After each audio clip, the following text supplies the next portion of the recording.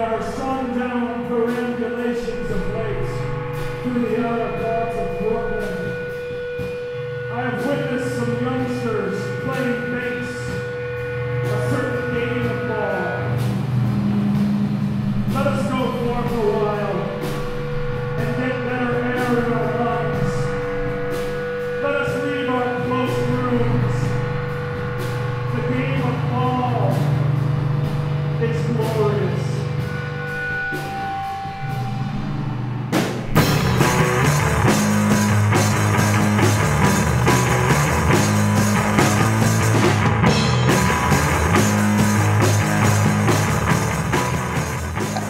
interesting to find out um, the people in our world that like sports because it's usually, you know, usually for the most part, we start doing this to get away from the jocks. And I think it's interesting to see, like, you know, these musicians that, you know, are usually running away from that culture to, like, actually accept that culture, the good parts of it at least. I used to not talk about it at all. And anytime anybody would want to ask a question, be like, nah, you know, ask me that during baseball season. Talking about people that live this major league lifestyle, travel on planes, uh, you know, four star, five star hotels. So when I try to explain to them about being in a van and, and traveling in Europe or sleeping on a floor, there's zero uh, comprehension of that. I'm sure you must have seen Major League before, but Major League is about uh, a group of a bunch of fuck ups, you know, a, a bunch of fuck ups who were terrible ball players who deserve none of the success that they later achieve in the end of the movie. I, I feel like humans in general, we want to root on failures because we see failure, we see ourselves and, and other people that buck up. Baseball is a game where doing something right 30% of the time.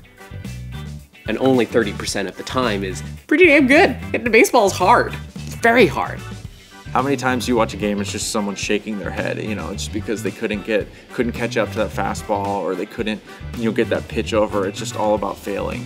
If you're gonna devote yourself to creating art and to some sort of creative skill, you have the same drive and focus that a professional athlete does. You're choosing willfully to make music that runs against the grain, that is often tackling things that nobody wants to hear about in a style that's not popular. I mean, you're you're basically asking to fail. Sometimes I get up on a stage and I'm just not there. It doesn't read, it doesn't land. There's just some random college kid looking at me with like I have three heads because I'm transsexual talking about my feelings. You're constantly fighting with the possibility that nobody wants to hear you, nobody wants to listen to you, nobody wants to book you. And that, that doesn't necessarily prevent a band from stopping. I don't think you ever accept failure. You just learn how to deal with it. And you pull into a venue and there's, you know, 22 paying customers. Does it suck? Yeah, it sucks, but those 22 people are having the time of their life and they want to be there, so you deal with it. I think about players who are stuck in AAA and are getting like almost up there and then can't quite break into the main scene. I feel for people who put all the work and their heart into something that still can't get recognized for it. That fucking sucks. You, you can have a sense of camaraderie with your team, but also you still have to step into the batter's box on your own and do something on your own. So it, it kind of lends itself to the way that we're brought up or the way that we as punks view our society. It's like we have to go, if we want to see change, we have to go do it. A lot of my friends are these like queer punks who were mostly really hurt and alienated by sports and saw sports as a kind of jock thing that was part of this toxic masculinity that was put upon them. And I feel so much sympathy for them. And like, I don't blame anybody hating a multi million dollar spectacle industry. There are socially conscious people who enjoy sports and want to be in that environment as well, but still know that they're going to come up against the rigid hetero capitalist patriarchy that built, you know, a lot of those institutions. I think it is actually really important to unlearn like shitty sports fan behavior. Do you know what I mean? Like certain sports teams logos, just shitty you know, misogynistic or homophobic behavior that can happen in sports, uh, like stadiums among the crowd. I think it's really important to kind of stand up and, and like be like, hey, I'm a person who is like progressive and cares about society, but also fucking loves baseball. punk can sometimes be loud and angry and abrasive music. It can also be soft, delicate. And what makes something punk ultimately comes down to whether the people doing it call them call it punk or not. They have the same uh, message. They have the same ideology, which is that there is inequality and unfairness in the world that we want to solve.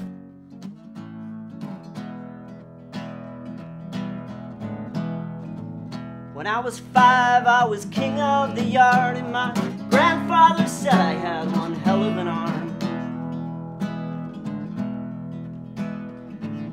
remember learning his split finger fastball and the tails he would stretch with that famous Turner. I guess there are similarities where, you know, you're just kind of you're waiting for the action. Things can be mellow, and all of a sudden you bust into a song that's you know three times the speed, and everything's going off. Uh, baseball can be quiet for six, seven innings. All of a sudden, a guy could get a base hit and a home run all within three, four pitches. About the time him and Mickey Mantle drank all night long, spinning yarns of all the former glories. There's a lot of parallels between baseball and punk. There's a lot of parallels between the two because, you know, so much of the disappointment in America and so much of uh, America's triumphs uh, can really be reflected in both punk and, and, and in baseball. I feel like baseball is more open to like how the world is becoming than other sports are initially. Baseball is usually the first ones to do it, you know, and I, I and I feel like you know our little underground punk world is more inclined to accept stuff like that than like you know perhaps a giant, you know, giant rock and roll world or country or Taylor Swift world or whatever. Not to say Taylor Swift is, is, is bad. I love Taylor Swift. It, it helps us place, you know, where we used to be and and where we are now and the shifts and you know the major changes it took to get to the point where we are the players you know want to you know make a public statement the fans largely the white fan base gets all pissed off when it's like oh man i can't believe they're talking about race it's like they're black people Anytime there's like any sort of like civil rights movement of any sort of uh, group or class in America, you know, baseball is usually the first one to take that on. Baseball will, in my mind, will 100% have the first female athlete. 100%. I'll bet my arm on it. There could be more integration on the field, but it's much better than it was. I really think the domestic uh, violence policy is great. I think uh, they're making strides to really kind of to modernize in places where they should be modernized. as far as like opening up to um, LGBTQ communities with everything that they've done with Billy Bean. He's going like team to team and he's talking to those guys about um, being more inclusive and accepting. You know, no other sport has that. You know, they're still running dudes out of the locker room in football about that. In baseball, it's like, all right, here's a guy that is in charge of making sure these players feel welcome. It's a parallel to society as society's like slowly opening that door. I think baseball is doing the same. I wouldn't say that baseball is at the cusp of it or at the forefront.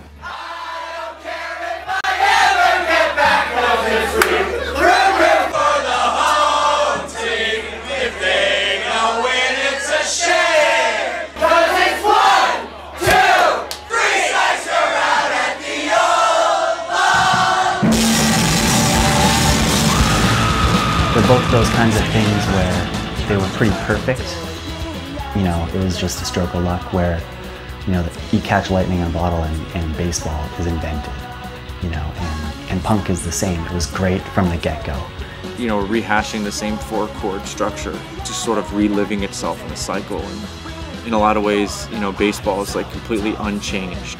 It doesn't feel like anything in baseball could be new, but then something insane happens. And then, then music is the same way. It doesn't feel like necessarily there could be anything new. And then you're like, I can't believe this exists. The whole reason why sports are able to be such a public industry is because of the incredible and underappreciation work that producers and videographers are doing within sports to make it this kind of beautiful thing. Baseball needs art in a way that other sports might not. Art is there to record and you know take these emotions that people are having and kind of um, configure them and reconfigure them into these artistic expressions so that, that they can be digested and more importantly you know remembered. And that's the reason that art exists in the first place is is to be able to comment on the misery and the sadness and the triumph and the glory and the beauty and sadness and such. And so, you know, uh, that's that's really the entire reason we do anything. It's the reason we play baseball. It's the reason we play music.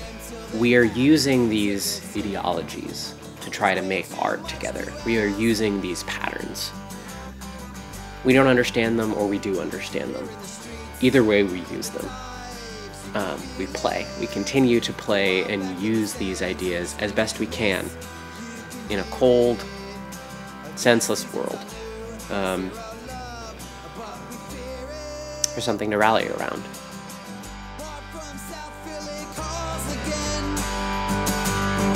She was just a kid in 64, but remembers her dad cursing at the same old radio. Now they fold, like it's the only thing they know. Here in the streets and the dives, in the stands, swing and miss, you can hear it. These seasons are new, zero love, but we fear it.